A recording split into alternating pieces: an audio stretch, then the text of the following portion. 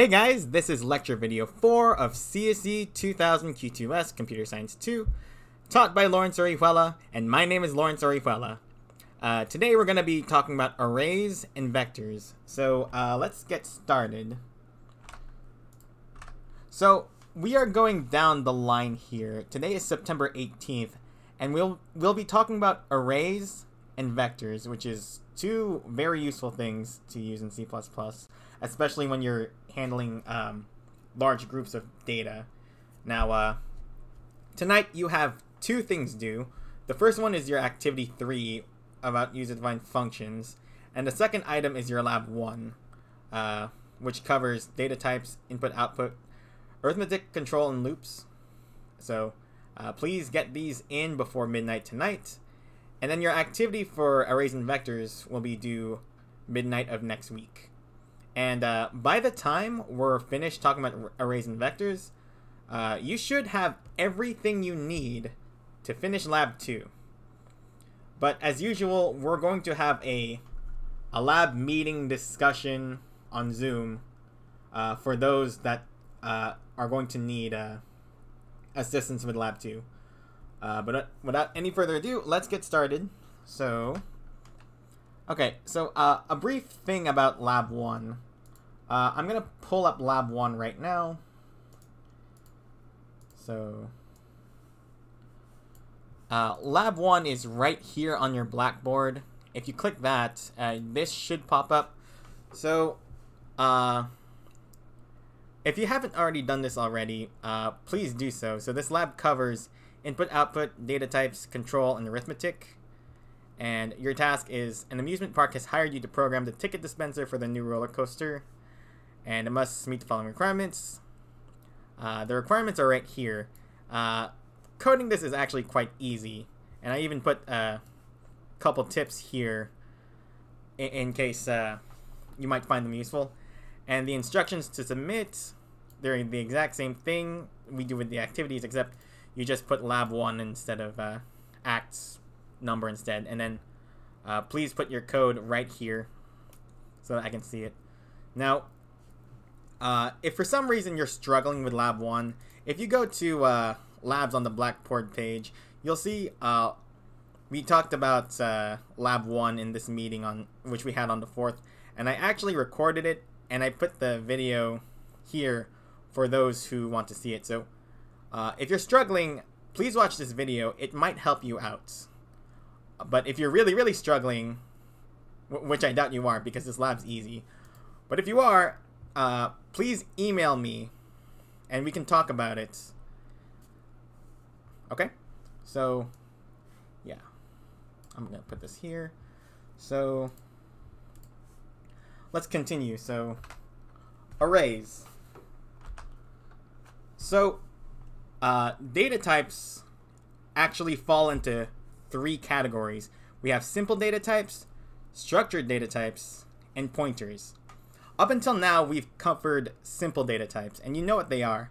There's int, double, char, string, bool, uh, so on. Now, array is one form of structured data types, and it's actually the first structured data type that we're going to discuss in this class. Now, structured data types hold a collection of other data types. Uh, other structured data types include vectors, structs, classes, etc. Uh, all of these we're going to cover eventually. Now the syntax for an array is listed here in this gray box. You have your data type, you say your array name, and then n represents the size of the array. Okay? Now, do you see this program uh, to the to the right here? So we have five different test scores, right? Now we could uh, hold our data like this, but probably a more efficient way of holding this data would be to declare an array of type int of size 5. Uh, that would be a more efficient way of holding our data. So moving forward, so arrays, like all data types, can be declared initialized with its value set equal to something, or uninitialized with its values uh, not equal to anything. Although, if it was uninitialized, you would have to set their values later. The same way you would uh, any other data type, you know? So the syntax for an uninitialized array is like this. So you have your data type, your array name, the size here, and then you set it equal to, and inside squiggly brackets, you list n items. So you got item 1, item 2, all the way to item n because n is the size of this array. Okay? Now, if you had an uninitialized array, like say you don't know what the values are yet, uh, you can you can just have the data type here, the array name, and the size, and you can just uh, cut it off with a semicolon. But if you, this was the case, you would have to populate the array later.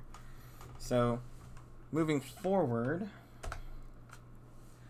Okay, so uh, with everything we know, we're ready to begin the lecture activity. So, 1a, declaring an uninitialized array. Oh, my bad, an initialized array. So, say you're writing an array to hold five students' test scores for test one in your class. You already know what they are, and they're listed here uh, 55, 65, 75. Uh, declare an initialized array that holds these values.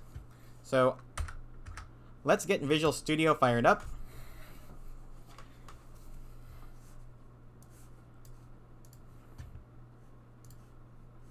uh, C++ empty project. I want to save this right here.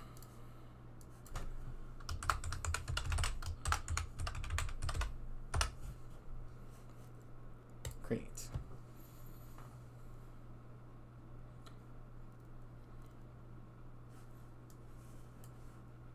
So we are going to add our main.cpp.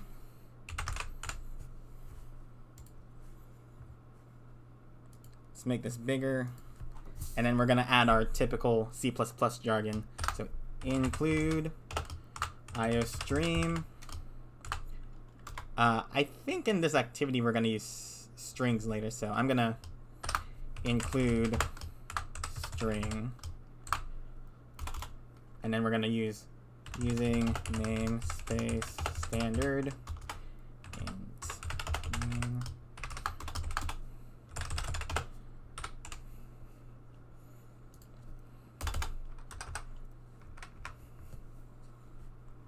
Okay, So let's recall what it asks us to do.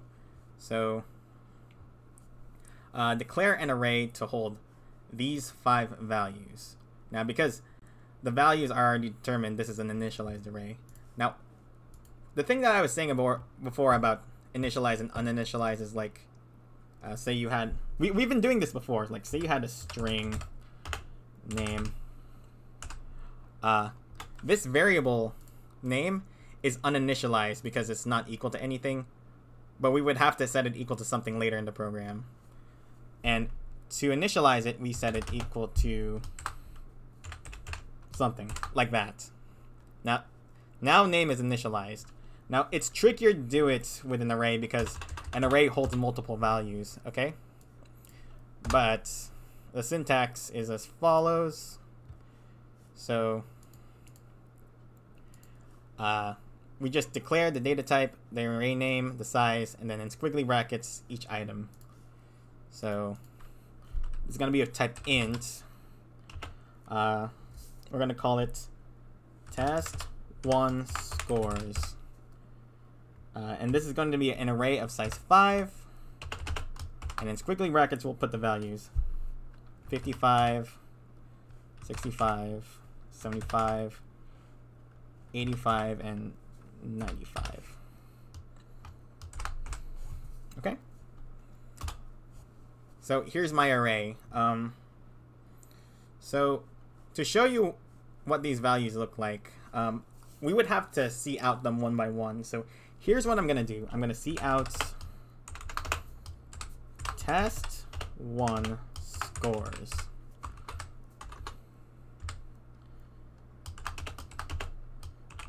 and line out.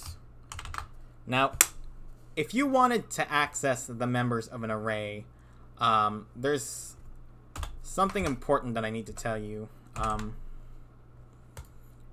you would actually need to say the array name test one scores and then using uh, square brackets uh, inside the square brackets you indicate the position of the item which you in which you wish to access now uh, one thing that you need to know is that the the objects of an array are numbered starting from zero and uh, to show you what I mean by that, I'm gonna actually do this.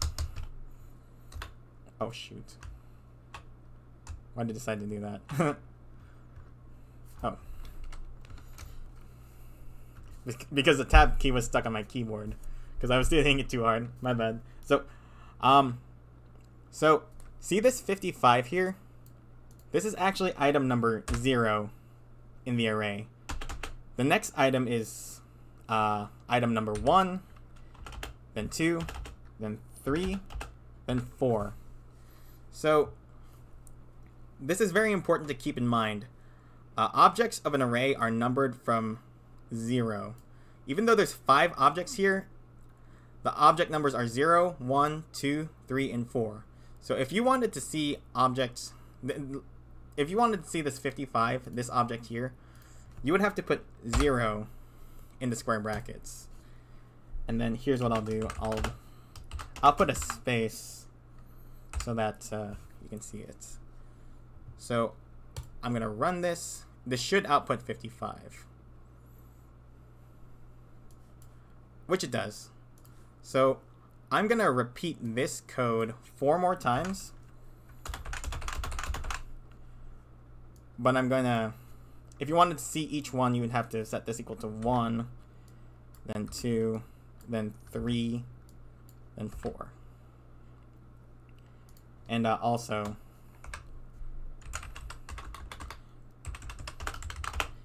this is part 1a, right? Which is declaring an initialized array. So, part 1a.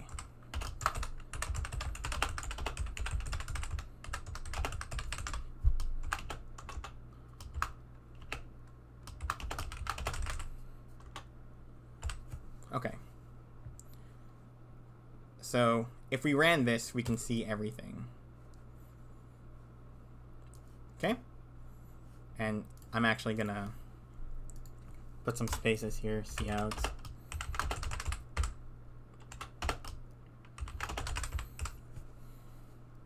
Okay, so this is part 1A. Uh, let's see what else we we got here. Okay. So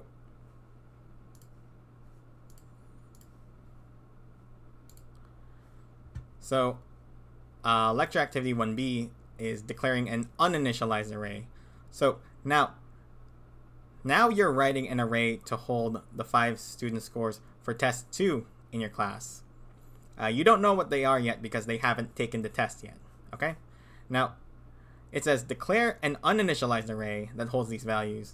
Then write a for loop that allows you to input these val values manually. Okay? So that's quite easy. So here's what we're going to do. See out part 1b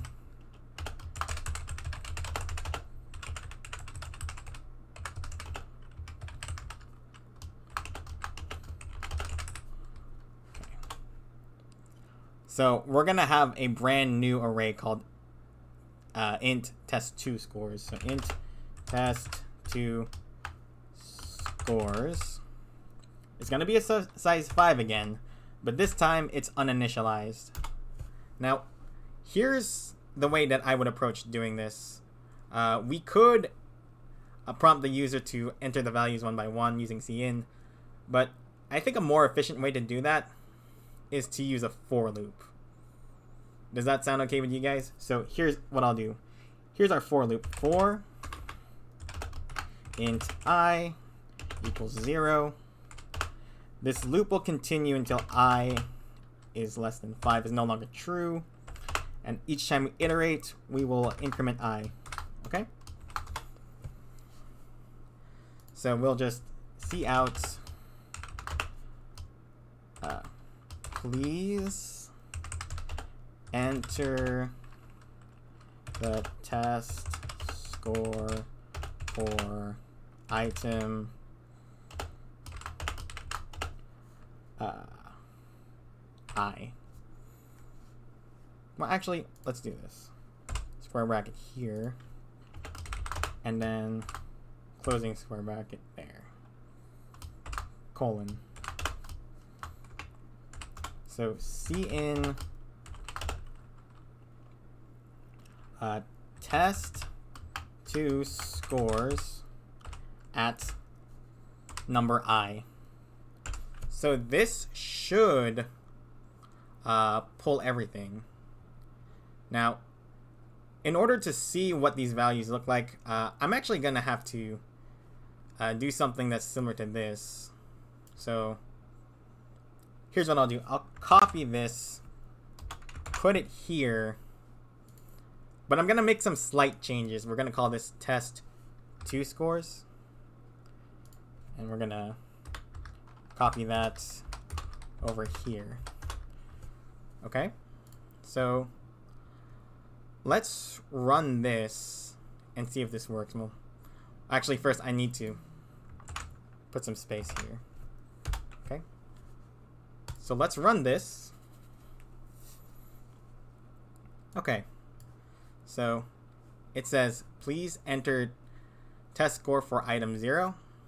Uh, we can we can uh, have them be any values we want. So I'm gonna say 85 for test score one, maybe 65 for the next one, uh, 93, 81, 8. Cool. So by doing this, uh, we, we give the user the power to set the the array objects equal to anything we want. And uh, now, here's the thing. Um, you could choose not to use an array. You could just have uh, individual uh, int values for each test score. But that's kind of inefficient, right? Uh, it would be much better to use an array when it's appropriate to do so because uh, doing so by, by grouping data into uh, structured data types, it makes our data easier to manage instead of if we were to declare variables one by one. Does that make sense? So as a programmer, it's up to you to decide when it's appropriate to use an array. Okay? So we did 1A and 1B. Let's proceed.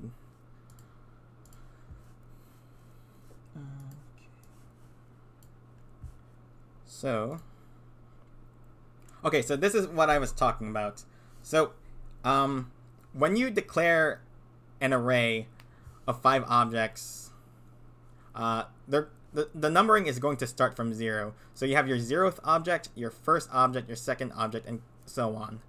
Now, um, the reason why uh, arrays are numbered from zero is because um, if you ever looked inside of your computer's memory, uh, the the computer's memory addresses are numbered from zero because uh, you have you have uh, memory address zero, then memory address one, and then all the way to how uh, whatever how much memory you have in your computer. So the reason why we start from zero is that so that uh, the memory addresses for our computer and the and the item number for the arrays, uh, uh, they line up, and that's actually the only reason why array uh, values start from zero.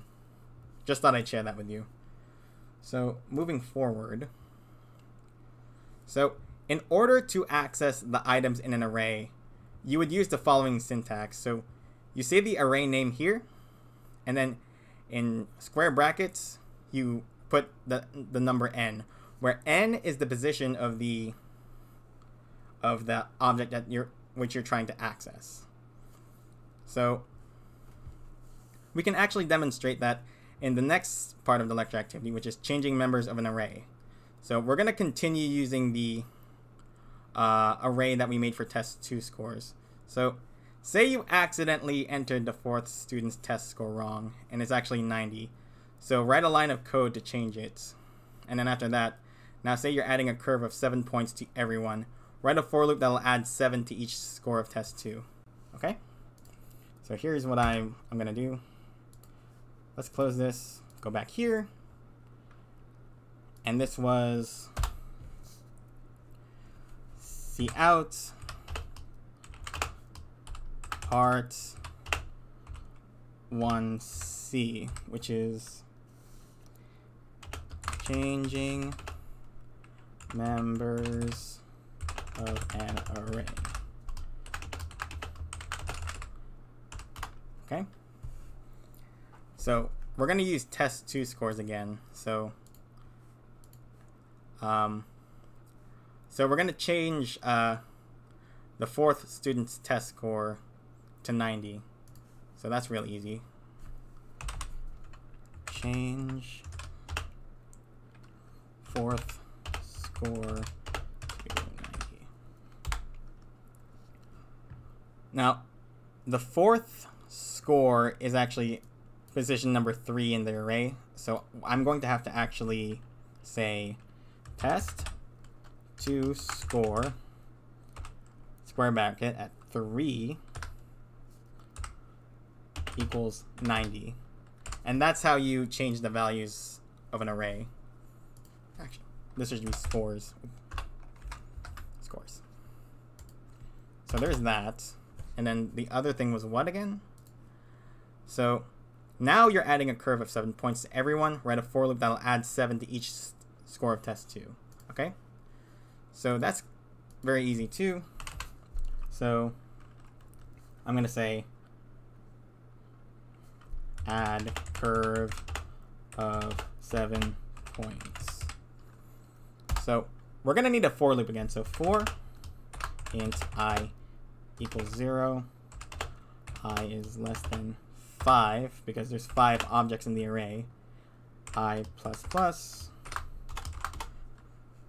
So here's how I would do it. So test 2 scores equals oh, at item i will be equal to itself plus 7 and that's how you do it now you could probably be saying another a probably more efficient way to do it would be to say uh, test 2 scores plus equals 7. Uh, this actually accomplishes the same thing. But uh, if it's easier to visualize it like this, um, that's probably better. So I'm actually to delete that, uncomment this. So let's see if uh, if we if this works, if we're able to change the members of our array. So let's add uh, dummy numbers again. So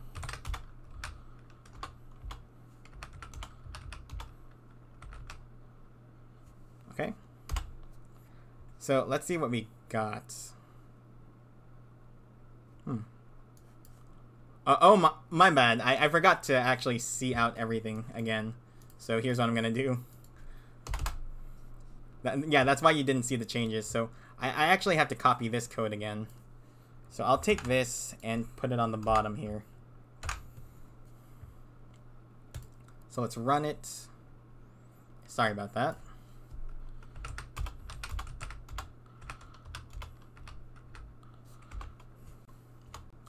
So uh, let's let's take a moment and analyze what happened here. So here's what our test scores, test two scores was before. Now we did two things. One, we changed the fourth test score to 90. So this actually changed to 90. And then we added seven, seven points to everybody. So 87 plus 7 gets 94. uh, 56 plus 7 is 63. Uh, we changed this to 90, and then 90 plus 7 is 97. So, yeah, there.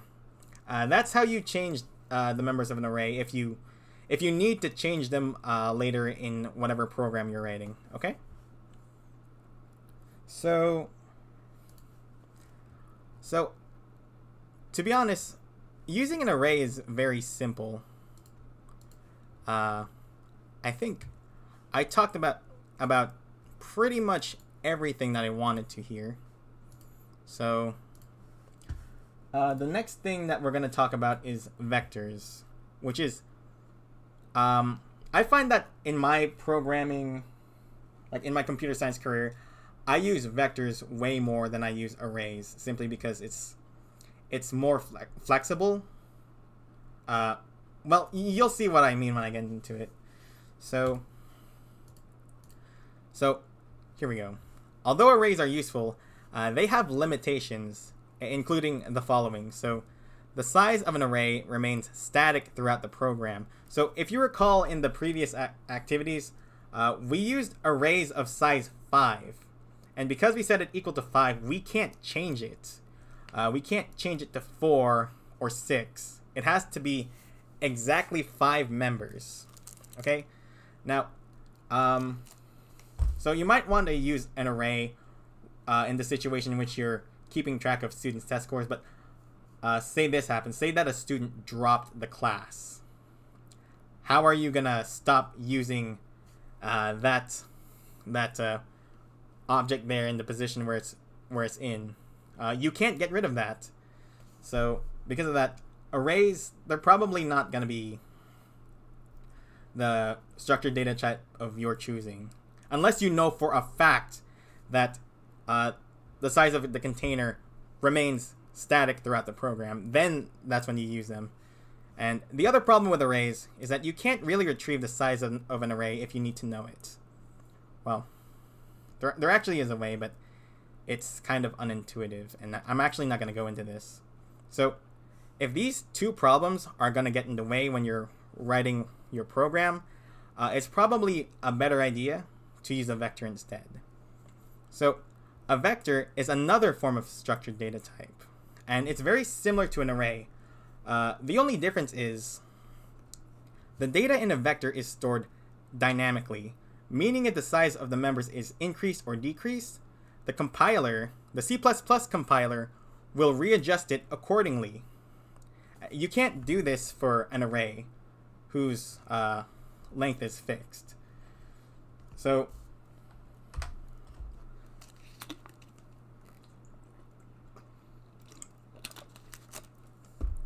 So to use a vector, um, it has its own library. So we're going to have to include vector at the very top.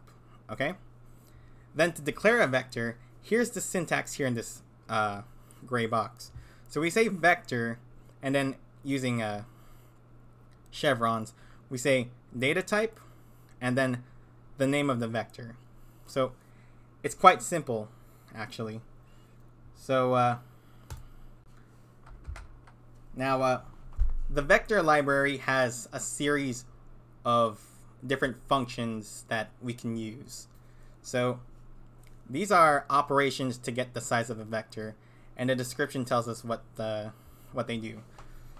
So um, if we wanted to know if the vector was empty or not, uh, we would say the vector name dot empty, and because this is a function, we would put parentheses in front of it. So uh, I know we covered user defined functions last week, but all functions have to have parentheses in front of it, like this. Now this function here returns true if the vector is empty, but false if it's not empty. Okay. Now uh, this could be useful uh, if you're writing a program and you need to work with a vector, but you need to know if the vector is filled with any data first before you can work on it. Now, the other operation that I want to discuss is dot size. So this function here returns the number of elements in the vector in the form of int. So if there were five members in a vector, it would return the int 5 if there were a thousand items in the vector it would return a thousand now this is actually very useful. I, I imagine that you're going to be using this operation quite a lot. And I even put a note on the bottom here. Do you see do you see the dot size function? Like that? Arrays can't do that. Now uh despite the fact that vectors are more powerful than arrays using vectors, uh, because of how, I guess, complicated they are, relatively speaking, they actually take more processing power than using arrays. So, uh, as a programmer, you, one thing you should learn is uh, when to use vectors and when to use arrays. Because if you can if you can use an array to hold your data, use it because it takes up less processing power than the vector does. But again, most of the time you're going to be using vectors. So, uh, lecture activity 4, declaring a vector. So, uh, here's what we're going to do. We're going to declare a vector of strings that holds names of fruits. And I, I just completely made this up. So, we're, we're going to make a vector that holds fruit names. Uh, don't push any members to the vector yet. Then use dot empty and dot size to see what values they hold. Okay, so I'm going to make this bigger so you can see it.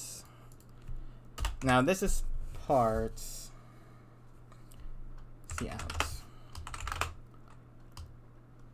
Parts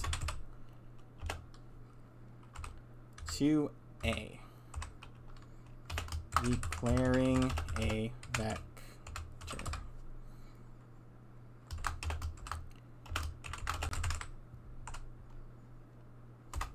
So the syntax for making a vector is very simple. You say vector string, we're to call it fruit names. So we have our vector. Why is it... Oh, my bad. I have to include vector at the top. Forgot about that.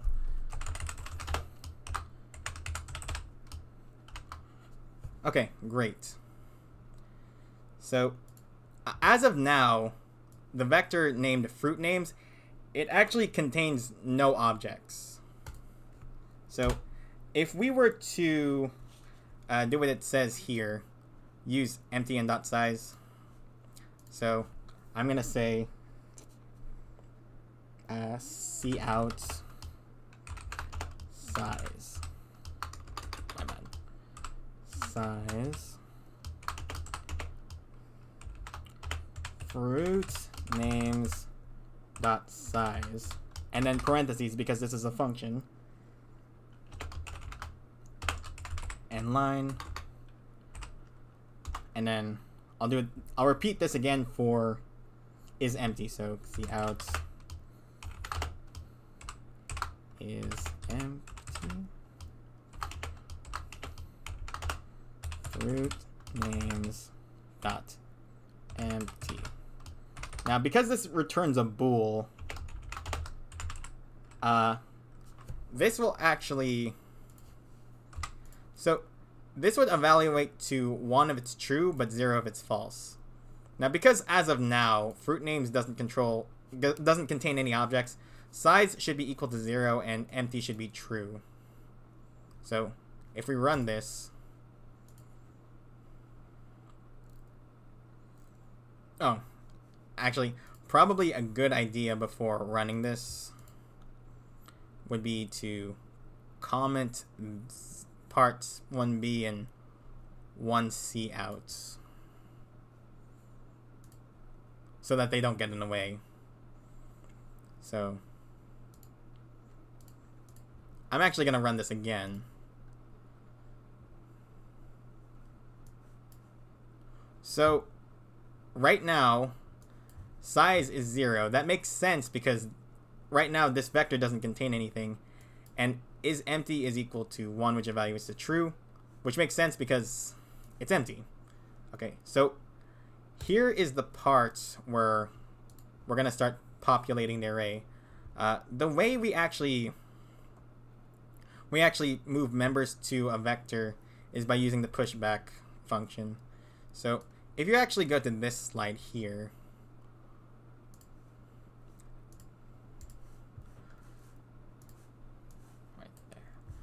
So these are all the operations that we can use on the vector. Uh, we have the clear function, which deletes all the items from it. We have erase. We have insert. But but uh, if you wanted to put uh, information in the vector, the the function you would use is called pushback. So the way it works is that you say vector name dot pushback, and in parentheses you put an element here, and then a copy of the element is inserted at the end of the vector. So here's what we're gonna do.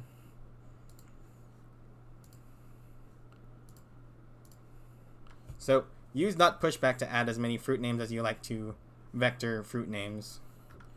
So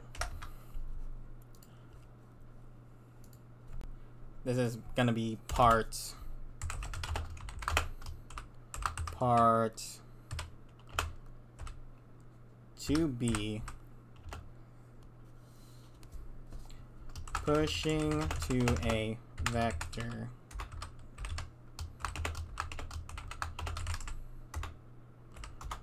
So we're going to say the name of the vector, which is fruit names, dot push back. So inside of these parentheses, uh, we, we should put uh, a name of a fruit in there. So here's what I want you to do. I want you to put a whole bunch of fruit names in there. So the first one I'm going to put is apple. And then say orange, banana, uh, what else? Kiwi, pear, and uh, just for the sake of example, let's, um, for the sake of the activity, let's put an object here that isn't an apple or, or, or, or a fruit. So let's, let's say maybe pizza or something. Okay? So, oh, you know, I, I actually just realized something. So, um, you're actually not gonna see this unless I coutted them like I did for the arrays, like that, and that's actually gonna, that's actually a lot of code to write, so here's an idea. Instead of coutting them individually, uh, because we learned user-defined functions in the previous lecture, I'm to write a user-defined function that accepts a vector of strings and then prints each member. Because, uh, you know, I, I can do that. So, uh, void, what do we want to name this function? So, print vector of strings so this is going to accept a vector of type string and I'm gonna name it v. So uh, because I'm repeating uh, the same process over and over, I would I would need to use a for loop. So for int i equals zero, i is less than and here's where the size function is useful. v dot size. Like that. And then i plus plus. So this loop would actually iterate uh, as many times as uh, as the size of the vector, which is very useful. So over here in the bottom, I'm gonna cout And I named this vector v, so I have to call it v. So v at item i, and then I'll output a space.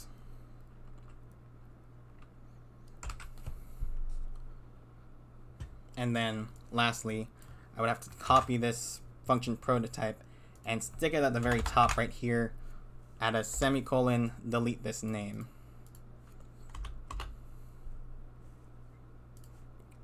Cool. So now I have a user-defined function that prints a vector of strings. So here's what I'll do. Uh, I'm gonna I'm gonna use that function here. Print vector uh, and we're gonna pass the vector fruit names to it.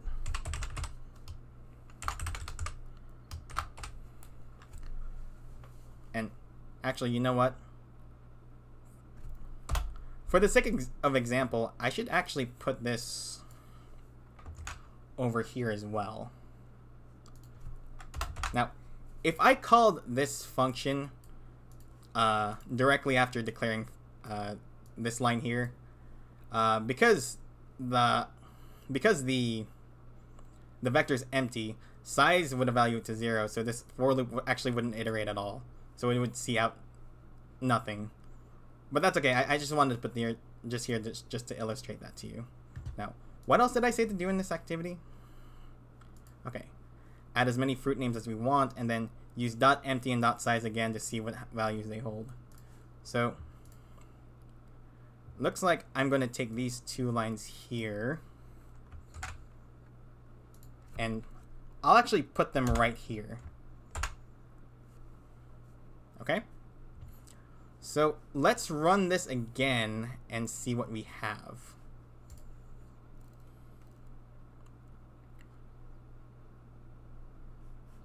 Hmm. I should put lines here so you can see.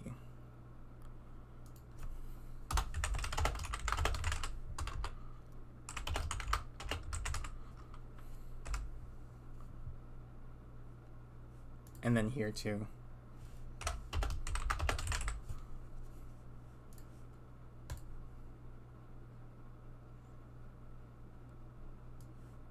Okay, so if, if you look here, um, when we first declared the vector, it had zero items in it and it was empty. But after pushing six items to it, so now this now the size of the vector is six. It's not empty anymore. And here are the six items it uh, contains: apple, orange, banana, kiwi, pear, pizza. Okay. So uh, there's that part there. Just wanted to show you that to you. And then lastly, after that, so uh, the last things I wanted to illustrate to you is the pop back function and the dot clear function. So if you go back to this slide here, so pop back, uh, it deletes the item that's at the end of the vector. Okay? and then the dot clear function deletes all of the elements from the container. Okay? So uh, let's actually use those functions now. So I'm going to go over here. This is part 2c.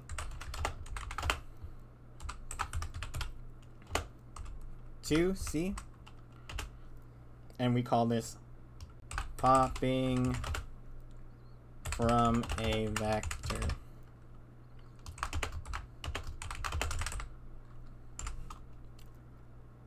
And we're going to use the name of vector, fruit names dot pop back. And this is a function that uh, takes no parameters. So uh, this is actually the reason why I wanted to put, uh, I wanted to add pizza to the vector because Pizza is not a fruit. We're going to have to delete that. So that's exactly what pop back will do because pizza is the last item in the vector. Uh, after we pop back, uh, pizza will be gone. Okay? Now, to prove that to you, we're going to print the vector again. So I'm going to use my user-defined function print vectors pass fruit names to it.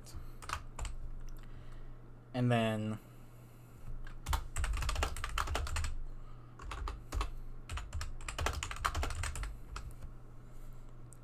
We'll run this. Okay, so after the compiler reaches here, pop back, the last item is removed. So if we printed our vector again, uh, we can see indeed the last item is removed. Okay? So the last thing I want to show you is the dot clear function. So uh, let's call this cout part 2d. I'm gonna call it clearing a vector. So if in your program you needed to clear your vector and uh, fill it with new data, the dot clear function is what you would use. So endl fruit names dot clear and then we're uh, because I'm lazy I'm just gonna copy these two lines and uh, put them here. So after calling the clear function fruit names is going to be empty which means if we printed it again uh, we're gonna see no objects because it's empty. So I'll run this and let's see. Yep because uh, uh, because we emptied all the objects from the container Fruit names is now empty, which means that when we printed it, it printed nothing. So that was actually everything that I wanted to show you. Okay? Now, uh, here's the thing. I actually had more that I wanted to show you. You do you see? Do you see all of these functions here? Uh, I, I demonstrated clear and push back and pop back but I, I didn't demonstrate uh, erase or insert here. Now, um, the reason why I'm not showing these to you yet is because uh, you see these position variables here? Um, operations that use position must be of type iterator. And the thing is, uh, we wouldn't actually be learning about iterators until after we talk about pointers. And we're not going to talk about pointers until We're going to talk about pointers. Oh, my bad. Th this is the old schedule when I was when I was making this uh, lecture. Um, let me pull up the syllabus. So we're going to talk about pointers next week. Okay? So uh, after we, we learn about pointers and iterators, uh, that is the time when uh, that that is the time when I, I'm going to demonstrate these other vector functions to you. But uh, if we proceed, oh, so that that's actually the the end of the activity. So here's what I'm gonna do. So I'm gonna comment all this. I'm gonna uncomment all this. So all of this is your activity for this week. So I'm gonna run it again. Here's what I want you to do. Put any uh put any numbers into this. So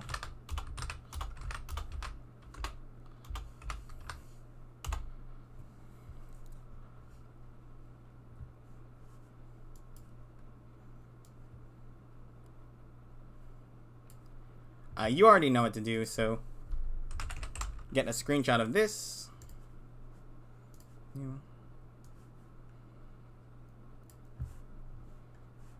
Okay. And uh, put four comments on the top. Lecture activity 4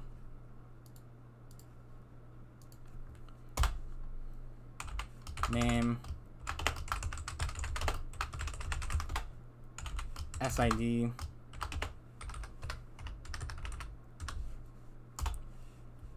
due next week, which is the 25th. So 9, 25, 20. Uh, go to your email, make a new email, post a screenshot on the body uh, add the uh, add the CPP file and send it to me. This is CSE 2000 Q2S Act 4. And that's how you send it to me. Okay, so now we're completely done with the activity. So the last thing that I want to talk about is uh, Lab 2. So uh, I've decided that we're going to have another Zoom meeting for Lab 2 uh, on Friday on the 25th, which is exactly one week from today. And I'm going to be uh, providing help to uh, those who need it. So if you need help on Lab 2, uh, please show up to this Zoom meeting. I'm going to be sending a link via email. So keep an eye out for that. So um, we can actually look at Lab 2 right now if you wanted to.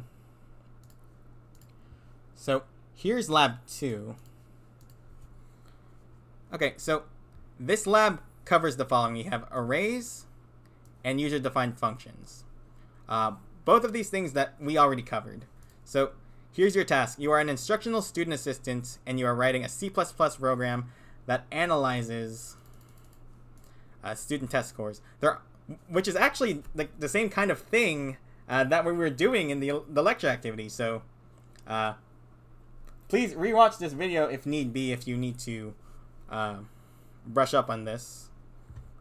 So, um, so there are five arrays representing five students, each having five test scores. To complete this task, you must accomplish the following. So, under tests, students' test scores, create another array called student six test scores. So, I created five arrays here. Make another array called student six test scores, and inside the squiggly brackets, put five integers. Uh, you can set them equal to anything. Yeah, I even said that here. For the five int values, you can, make them up. Now, um, there are three user-defined functions declared, but they are not yet defined. Finish defining them. For get highest for students, it accepts an array of five ints, traverses them, and then returns the highest int. Uh, for and these over here is the user-defined functions. Okay, so um, for the function named get lowest for student, it accepts an array of five ints, traverses them, and returns the lowest int. For get average for student, it accepts an array of five ints, traverses them, adds the five values together, then divides the total by five to get the average test score. Uh, this average should be returned as a double because uh, since we're dividing, you know, it makes sense that uh, there might be like a remainder afterwards. So please, uh, please have this average output as a double. So after defining them, try running the program for student 1 to see if they work. After you vi verify that the user-defined functions accomplish their designated tasks, repeat the same structure on lines 63 to 67 for the other students, including your student 6. So, now when I say uh, lines 63 to 67, I'm referring to this these lines here. So after you write these user-defined functions, what I'd like you to do is these lines here, you copy this five more times, but you change student one to student two, then three, then four, all the way to six.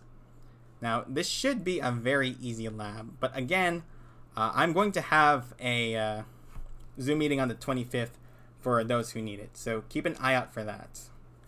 So, anyways, that's all I have for this week. Um, so, uh, so that's pretty much it. So I will see you next week, and we are going to discuss pointers and iterators. Uh, see ya.